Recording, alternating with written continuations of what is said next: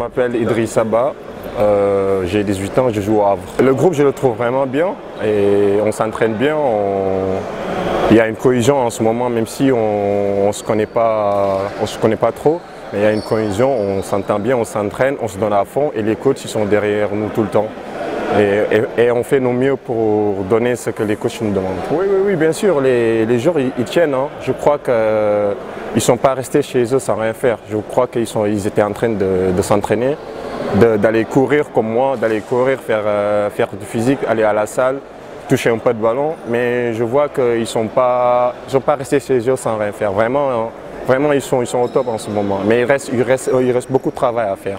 Il faut continuer à travailler et écouter les coachs. Ça va aller, Inch'Allah. On, est là pour représenter notre pays. C'est pour ça et on va donner tout ce qu'on a pour aller chercher la victoire. Moi, je suis là pour aider le groupe et je suis là pour écouter, pour moi aussi me, dépasser un peu parce que c'est la première fois qu'on me sélectionne en équipe nationale. Je, je, vais avoir un peu de, un, peu de visibilité aussi à l'ECR, l'international. Peut-être il y a des gens qui me connaissent, mais il y a beaucoup, de monde qui ne me connaît pas encore. Et la Coupe d'Afrique va me permettre que tout le monde me connaisse. Je suis prêt pour aller me battre pour mon pays vraiment et, donner tout pour gagner la Coupe d'Afrique.